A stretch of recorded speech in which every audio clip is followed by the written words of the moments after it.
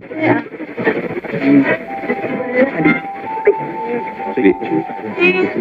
You're